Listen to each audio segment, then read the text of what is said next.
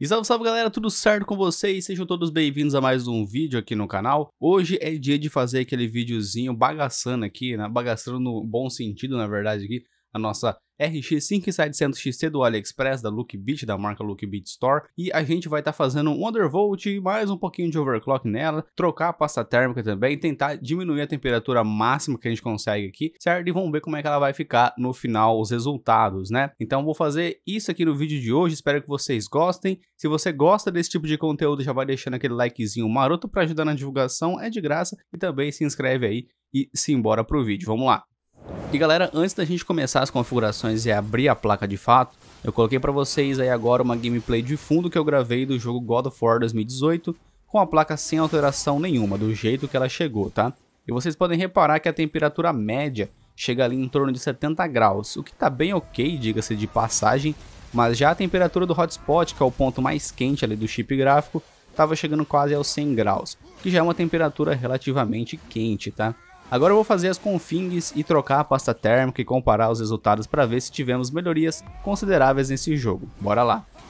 E bora então abrir a plaquinha aqui para ver como estão os componentes por dentro e também fazer a troca da pasta térmica. Para abrir ela é só retirar os parafusos traseiros aqui do backplate e dar uma puxadinha ali de leve que a gente vai ter acesso primeiramente à carcaça da frente onde ficam os fãs. Aqui tem que tomar muito cuidado, tá pessoal, na hora de abrir porque os fios das ventoinhas são bem curtos, né? E se você puxar com tudo ali, pode acabar danificando também. Então eu tirei os dois pinos dos fãs ali para a gente tirar a carcaça da frente primeiro. Após retirar a carcaça frontal, a gente tem o acesso ao dissipador de calor da placa, contendo ali as aletas que estavam na maioria bem alinhadas por sinal, e os heat pipes de transferência de calor. Após a remoção de mais alguns parafusos, a gente chega finalmente aqui no PCB da placa em si. E vendo mais de perto os componentes aqui da nossa RX 5700 XT, galera, Aparentemente estava tudo certo no seu devido lugar ali, tanto as bobinas, os capacitores, pareciam muito bem conservados, aliás. Agora as memórias da placa, pessoal, eu não consegui mostrar o estado delas por causa que tinha esses thermal pads que estavam por cima, tá? Eu até tentei tirar alguns ali com cuidado, mas parece que já estava desmanchando, então eu deixei isso quieto, tá? São thermal pads bem grossos, por sinal, acredito que seja de 2 milímetros, eu acho. E eu também não tenho nenhum aqui para repor caso algum outro quebre ali, tá? Então eu quis manter a integridade desses thermal pads para não dar ruim depois. Mas a gente sabe que essas memórias das placas de vídeo do AliExpress não são novas, tá? E a maioria que a gente chegou a ver aqui no canal tem uma certa degradação do chip e acredito que essa placa não seja diferente, tá? Só resta saber se foi muito surrado ou não, realmente, tá? E passando aqui para o chip gráfico dessa placa, pessoal, a gente nota ali em volta do chip uma coloração mais escura realmente, mas falar para você que não se compara às outras que eu já cheguei a trazer aqui no canal, principalmente uma RX 580, a 5500 XT, onde você via uma coloração muito mais escura, né? Bem maior devido ao uso extremo ali de mineração. Mas essa aqui tá bem melhor comparada às outras, viu? Sinceramente. E como eu disse, são placas usadas e com certeza teria certas marcas de uso evidente. A numeração do chip bate certinho ali com o modelo da 5700 XT, e ao limpar a pasta térmica do chip eu vi que ela estava muito ressecada, cara. E pode ser por isso a alta temperatura ali que a gente estava tendo no hotspot. Então vou aplicar a nova pasta térmica aqui, pessoal. É uma GD2, tá? Que eu uso atualmente no meu Interposer até e tá segurando muito bem. Aliás, né? Uma pasta barata e boa, né? E vamos fechá-la novamente e fazer algumas configurações no software da AMD para melhorar ainda mais a temperatura e de bônus melhorar o desempenho da mesma. Bora lá então. E galera, para a gente começar a fazer esses ajustes aqui na 5700 XT, a gente vai utilizar o próprio software da AMD, o Adrenaline Software, certo? Quando você instala o driver, já vem né, com o software basicamente para vocês mexerem aí, certo? E a gente vai fazer o seguinte, a gente vai vir aqui, né, vai abrir o programa, vai vir aqui na aba de desempenho e vai vir na aba ajustando. É aqui que a gente vai fazer as configurações de curva de fan, undervolt e também o próprio overclock nessa placa, tá? E aqui, galera, vocês podem ver que está marcado como padrão, então ela vai se ajustar automaticamente conforme você for jogando, né? Tanto os fãs, né, undervolt, etc. Vai fazer tudo manual, mas o padrão a gente não quer, a gente sabe que ela está esquentando bastante aí. Vamos tentar diminuir isso. Então a gente vai vir aqui em ajuste manual, clicar aqui em personalizado, vai aparecer algumas opções que a gente pode habilitar. Primeiramente, a gente vai começar com o ajuste de GPU. Eu vou marcar essa caixinha aqui, onde está desativado, né? E vou marcar aqui controle avançado. Vindo aqui em ajuste fino, a gente tem algumas métricas que a placa já está apresentando, né? Ah, essa é a frequência da placa, aqui embaixo é a voltagem que ela está sendo usada. Bom, aqui ela já está em 2095 de frequência do boost máximo, só que assim, essa placa ela não tem uma margem para overclock ah, absurdo, tá?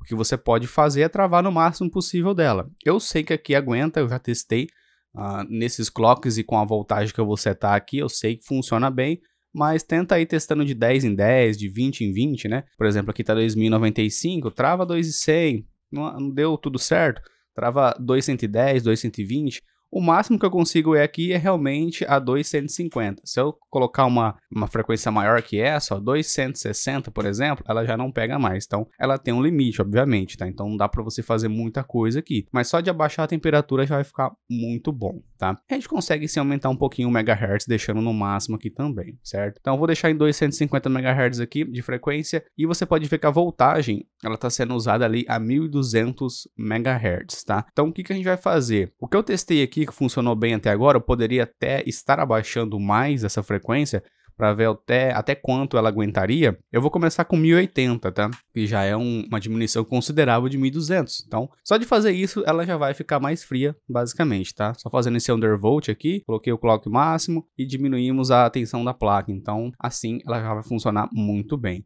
Ó, sinceramente, eu nunca vi placa queimar com undervolt, tá? Sinceramente, com undervolt, eu nunca tive problemas em placa de vídeo. É claro que você vai ter problemas se aumentar muito a tensão. Por exemplo, acima dos 1200, 1300, não faça isso, tá? Então, eu fiz o undervolt aqui, a gente tá tentando diminuir, né, a, a tensão da placa em si, com um clock maior, certo? 1080 funcionou certinho até agora, tudo bem. Você pode tentar ali colocar 1090. Ah, cara, achou deu tela azul, a placa desligou, aumenta um pouco mais, tá? Se 1080 para você não deu certo, tenta aumentar um pouco mais, coloca 1090, etc. Eu acho que dá para colocar até menos que 1080, tá? Eu vi gente colocando 900 milivolt, 950 e travando coloca 2000, também funciona, tá? Mas são testes iniciais e só com isso daqui eu já consegui uma diminuição muito grande na temperatura dela. Então eu vou deixar em 1080 de voltagem e 250 de clock aqui no ajuste de GPU, certo?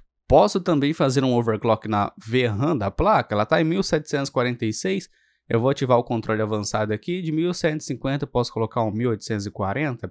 Eu não mexi muito nessa parte aqui, tá pessoal, para ser sincero. O máximo que ela chega é 1900, mas eu não sei se fica estável, não testei realmente, tá? Então eu vou deixar em 1840, que é uma uma, um aumento considerável, né? Mas acho que não vai fazer tanta diferença não, beleza? Mas eu deixo aqui só para ter um aumentozinho a mais ali, com certeza, tá? Bom, uh, fiz todas essas configurações aqui, né, o ajuste de VRAM e mais o ajuste da GPU, eu clico aqui em cima, ó, tá vendo? Aplicar mudanças. Feito isso, o meu over e o meu undervolt vai estar já tranquilinho, está, já está feito na verdade. O que a gente pode fazer agora é o controle dos fãs e eu quero também liberar um pouco do Power Limit para usar mais clock e consumir um pouco mais, na verdade, tá? Se eu vir aqui em ajuste de potência, eu posso destravar o Power Limit da placa, tá?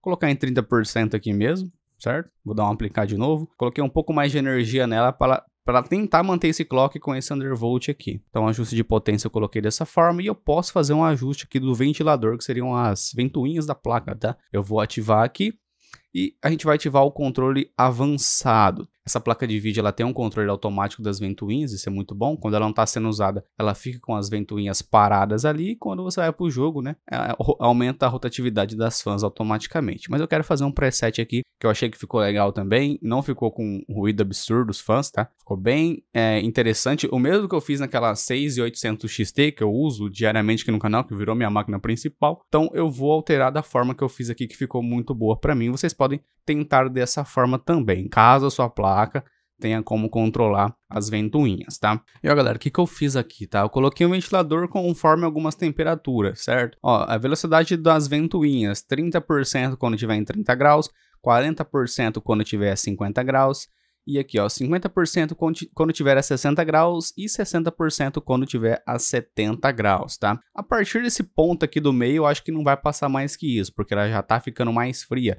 E essa troca de pasta térmica, vocês vão ver que deu uma boa melhorada na situação, né? Como eu disse para vocês, a pasta térmica da placa ela veio bem seca realmente, tá? Pelos testes que a gente fez, ela veio bem seca, mas do jeito que tá aqui, como eu mostrei para vocês, mano, não vai ter problema não, tá? Você vai ficar bem tranquilinho As ventoinhas vão, não vão rodar numa velocidade absurda, realmente 50% ainda tá muito de boa, tá? Então essas são as configurações que eu utilizei aqui na minha 5700 XT da Lookbit do AliExpress, tá? Fizemos undervolt, fizemos um pouco de overclock nela, não muito, tá?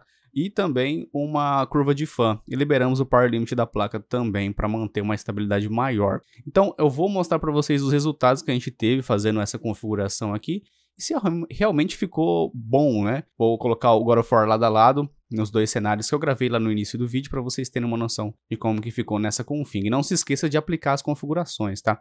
Ah, lembrando sempre, né? Normalmente o programa, o AMD Adrenaline Software, quando você reinicia o PC, ele volta as configurações, tá? Então, para isso não acontecer e você não querer ficar configurando manual tudo de novo que vocês fizeram, você tem a opção de clicar aqui, ó, de exportar o perfil, né? Clicando nesse exportar perfil, você pode até na sua área de trabalho deixar em algum lugar aí é, o perfil já salvo. Depois é só você importar. Por exemplo, tem até na área de trabalho que eu fiz um ali, ó.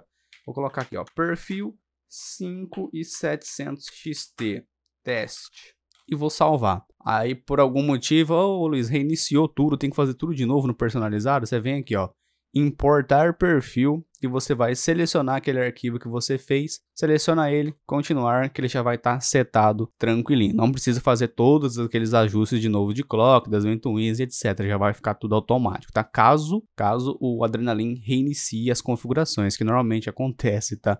Então, essas configurações, vamos lá para os resultados então, pessoal, vamos ver. Galera, tá na hora da gente ver os resultados de tudo isso que a gente modificou na placa, tá? Vamos comparar o mesmo trecho aqui do God of War que eu mostrei para vocês no início do vídeo.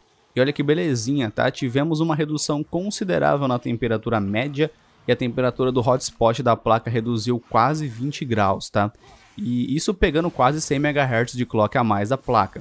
Claramente ela não vai ficar naqueles 250, como eu expliquei para vocês, que a gente colocou mesmo destravando ali o power limit, mas olha só que top, né? Que ficou em relação à temperatura e com isso, consequentemente, também aumentamos o desempenho da placa no geral. Não foi muita coisa, é claro, né? Mas conseguimos ali em torno de 5, 6 FPS a mais no game em determinadas partes, com uma temperatura muito mais baixa, o que tá mais do que bom, né, pessoal?